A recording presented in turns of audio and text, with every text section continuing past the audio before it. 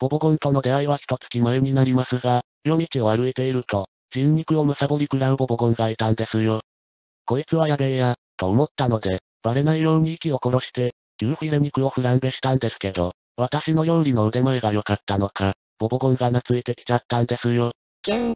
それならば、もう買うしかないな、と思い、買い始めたのですが、ボボゴンのお世話は大変なんですよね。じゃれてきているのかわかりませんが、体中を甘噛みしてきたなぁ、と思っていたら、右脇腹をかじり取られたり、日に数回、ありとあらゆるものを溶かしてしまう液体を吐き出してくるので、少しでも注意を怠ると、その液体が体にかかり、至るところが溶けてしまったりと、心底困り果てています。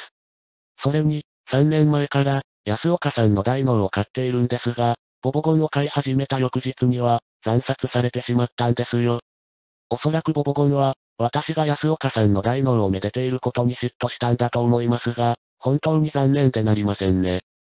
それから、特に大変なのが、ボボゴンのご飯なんですよ。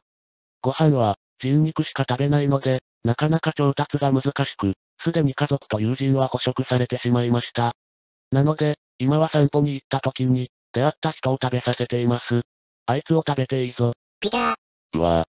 しかもボボゴンは、一週間に一度、人間に卵を産みつけるので、産卵用の人間も見つけなくてはいけないんですよ。ちなみに、産みつけられた卵は、人間の体内で孵化して、頭部まで移動し、脳みそを食べ尽くした後に、頭蓋骨を突き破って出てくるので、かなりおぞましい光景になっております。まあでも、私のようにボボゴンと信頼関係を築けていれば、捕食されることも、卵を産みつけられることもないので、これからもボボゴンとは仲良く、真摯に向き合っていきたいと思います。ピタ